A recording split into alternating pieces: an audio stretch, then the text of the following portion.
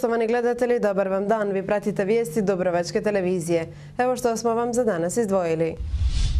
Gradska vlast održala sastanak na temu proračuna.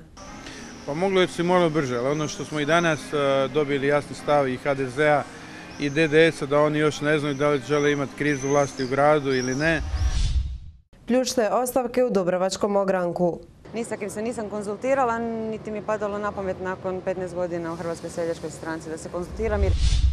Najavljen nogometni kamp jednog od najboljih svjetskih klubova. Organizator je podržao i Mateo Kovačić. Drago nam je da je i najbolji i najtrofejniji svjetski klub e, prepoznao grad Dubrovnik i u grad Dubrovniku će imati svoga prijatelja i naša vrata su mu uvijek širom otvorena.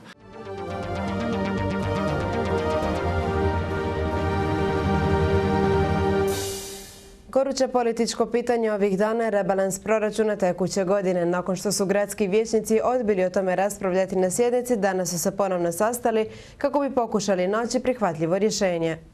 A gdje plešu milijuni, logično je da ima i prijepora. Ipak, danas su tonovi malo drugačiji. Nismo postigli nikakve konkretne zaključke. Rekao sam i na sastanku da je stav Hrvatske demokratske zajednice i naših koalicijskih partnera jasan. On je bio rečen i prije, a to je činjenica kako nam je neprihvatljivo povećanje na stavci ureda gradonačelnika u iznosu od milijon i šesto tisuća kuna. U rebalansu ubačeni neki zahtjevi na koje je gradonačelnik pristao. Da će u nekakvom daljnjem dijalogu doći do usvajanja ovog raspodjela viška sredstava, odnosno mini rebalansa proračuna. Pa izgleda se sve dogovorilo, trebali bi na sjednici vijeća 25. 26. 7. osvojiti mini rebalans koji uključuje raspodjelu viška sredstava od prošle godine, koji uključuje kredit za groblje Dubac 40 milijuna kuna i sve one amandmane koji su unesene unutra. Novost koju smo dogovorili da ćemo iz viška sredstava milijun i 700 tisuća kuna osigurati prvu ratu za studentski dom. Ipak u dubrovačkoj politici uvijek ima ono ali. Pa moglo je se moralo brže, ali ono što smo i danas dobili jasni stav i HDZ-a i DDS-a da oni još ne znaju da li žele imati krizu vlasti u gradu ili ne.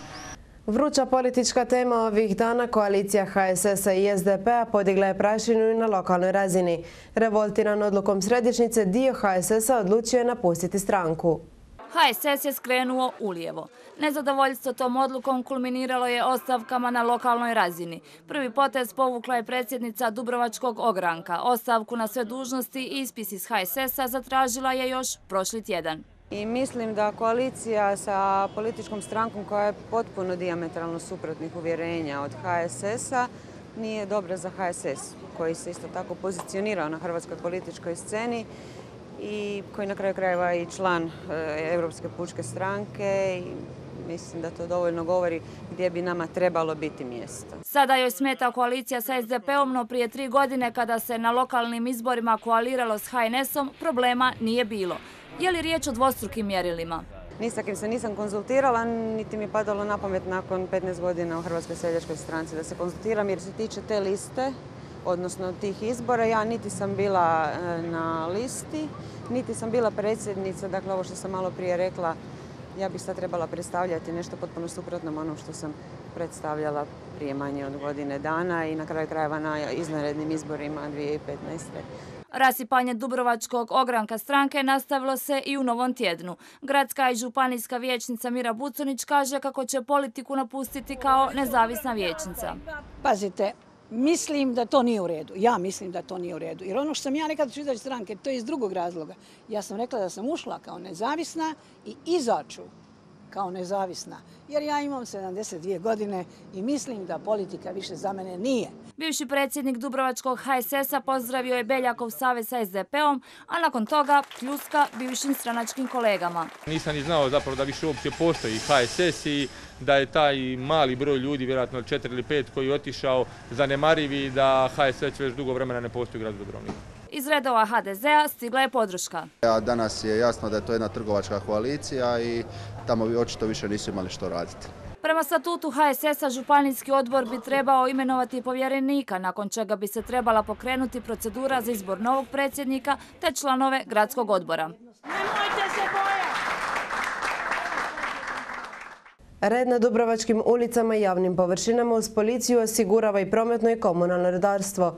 Usprkos brojevima koji pokazuju napredak, situacija nije baš najbolja. Prometno redarstvo od policije preuzelo obavezu regulacije prometa u mirovanju. Dvojica rade većinom u analitici i rješavanju prometnih prekršaja, dvojica redara rade u e, takozvanoj kućici sanitata u Gospinom polju u kojoj e, odobravaju, odnosno vrše naplatu prekršaja vozila i davaju odobrenja za uklanjanje vozila sa područja grada. E, jedan redar je, vjerujem da tome svjedočite, svakodnevno na pilama, regulira promet, odnosno zaustavljanje autobusa na pilama. Posljednji je redar u autoobhodnji i zadužen je za sve ostale probleme. S obzirom da smo limitiranim brojem ljudi, nismo u stanju organizirati te smjene u dvosmjenski, pa čak ljeti, ljeti u nekim mjesecima i u tri smjene bi trebalo raditi. Međutim, to je u planu, u idućih možda godinu, dvije dana ćemo se sigurno brojčano pojačati, pa tako ćemo imati veći broj prometnih redara i moćemo udovoljiti potrebama. Komunalno redarstvo još je više opterećeno. Komunalni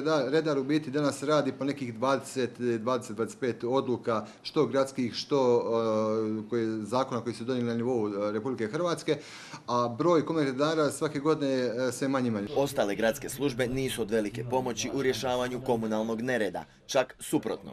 Vijeće koncesijska odobrenja je dostavila nama na postupanje koncesijska odobrenja prije tri dana.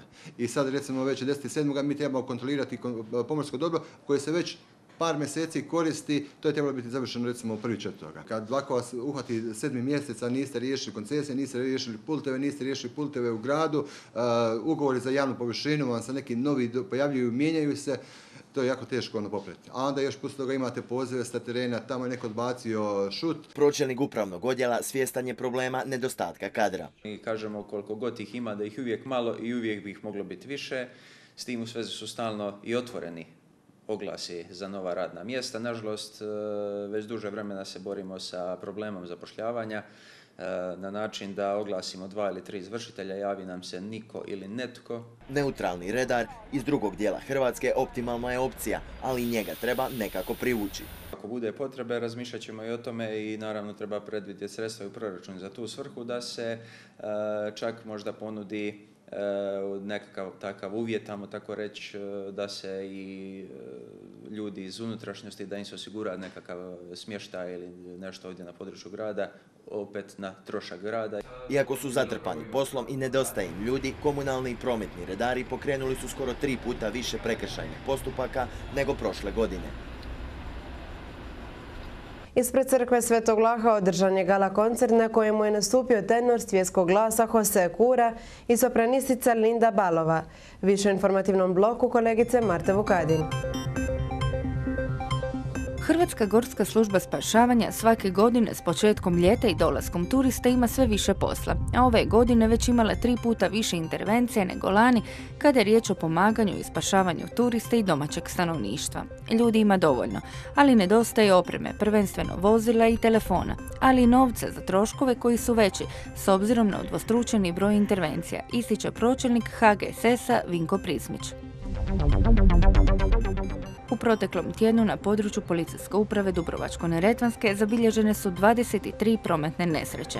Riječ je o 14 materijalnom štetom i 9 ozlijeđenim osobama, u kojima je 13 osoba lakše ozlijeđeno. Provodeći mjere kontrole prometa, policijski službenice su protiv počinitelja prometnih prekršaja poduzeli 732 represivne mjere.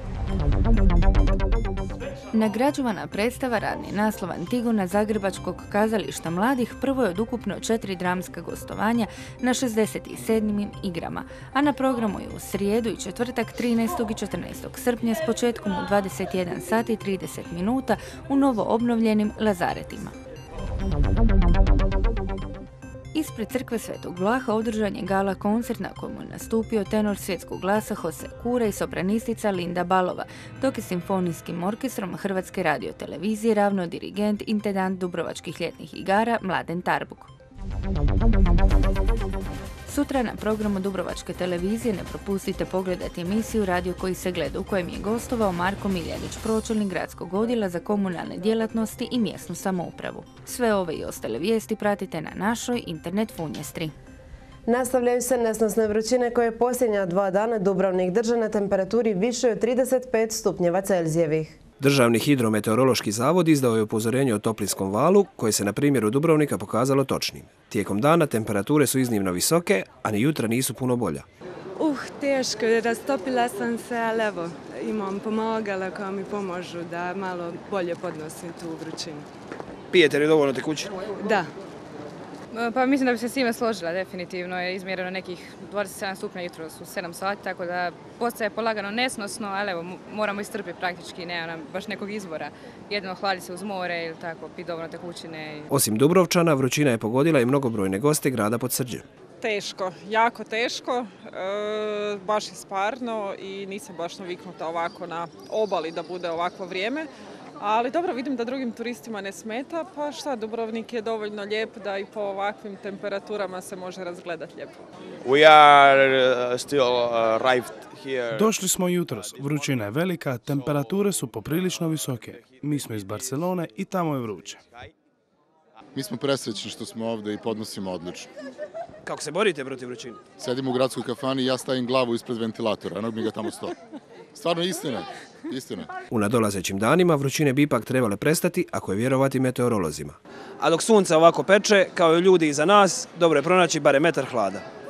Dječaci i djevojčice u kolovozu će imati priliku sudjelovati na nogometnom kampu jednog od najboljih svjetskih klubova, Real Madrida. Real Madrid dolazi u Dubrovniku potrazi za novim nogometnim nadama. U organizaciji klubove fondacije koja promiče obrazovne vrijednosti kroz sport, u kolovozu će djeca od 7 do 17 godina moći učiti od najboljih svjetskih trenera. Drago nam je da je prepoznat i grad Dubrovnik i cijela Dalmacija, na kraju krajeva i cijela Hrvatska kao jedan rasadnik talenata iz kojih igrači odlaze u najprestižnije svjetske klubove. Raguš dodaje kako se Dubrovnik još jedan put pokazao kao brend za domaće i strane sportske zvijezde, a to potvrđuje Mateo Kovačić, poznati hrvatski nogometaš koji godinu dana igra za Real Madrid. Drago mi je što su u Dubrovniku, prepoznali su ovaj grad koji treba prepoznat, u kojem sigurno treba malo i više nogometa, tako da evo, meni je drago što sam danas tu, što sam pozvan i evo, još jednom bi se zahvalio svima na, na lijepom prijemu. Kamp se održava drugi put u Hrvatskoj, no prvi put u Dubrovniku, a najuspješniji sudionici imat će priliku otputovati u Madrid. Izabrat ćemo 12 igrača iz Dubrovnika, 12 igrača iz Montenegro, Crna Gora i 12 igrača iz Banja Luke. Pa pokušavamo da da uradimo kao što je vam mladi gospodin ovdje uradi jednoga dana, da imamo mnogo ovakvih igrača u Real Madridu. Kamp se održava od 25. do 29. kolovoza. Tijekom pet dana mlade će se talente poučavati različitim nogometnim tehnikama. Svi zainteresirani mogu se prijaviti putem internetske stranice fondacije. Jedina slika Dubrovnika prije potresa 1667. izložena je u prostorijama društva prijatelja Dubrovačke starine. Dubrovnik prije trešnje naziv je slike koja je rad nepoznatog majstora, jedan je od najvjerodostojnijih prikaza Dubrovnika prije velikog potresa. Čestitam mojim dragim prijateljima, društvu prijatelja Dubrovačke starine, koji su još 2009. godine sliku otkupili i vratili je ovdje naš Dubrovnik. Begović je dodao kako slika poput ove zapravo prikazuje sklad arhitekture i života u gradu. Slika je prozor u povijest grada i kao takva poklon je našim učanima, našim Dubrovčanima i našoj Hrvatskoj baštinima, baštinicima Dubrovačke starine. Naslika na izrazitom kartografskom točnošću slika daje prikaz svih važnijih detalja grada poput Ivone i Straduna s Trijemovima, katedrale Svete Marije s Krstionicom, gotičke crkve Svetog Vlaha i Luže, velike i male onofrive fontane, zidina i gradske luke, lazareta, kuća u predgrađu te ljudi u svakodnevnom životu. Na otvaranju je najavljeno i svečano priznanje DPDS-u. Prvi put u Dubrovnik će ove jeseni stići nagrada Vicko Andrić, dodijeljena društvu prijatelja Dubrovačke starine, pa bi se ovom prigodom zahvalio svima vama u ministarstvu koji ste u tome aktivno sudjelovali. Izložba poput ove dokazi koliko Dubrovnik brine o očuvanju svoje neizmjerno vrijedne povijesne baštine. Poštovani gledatelji, bilo je to sve za danas. Ostanite dalje uz program Dobrovačke televizije jer slijedi detaljna vremenska prognoza. Do sutra, srdačan pozdrav!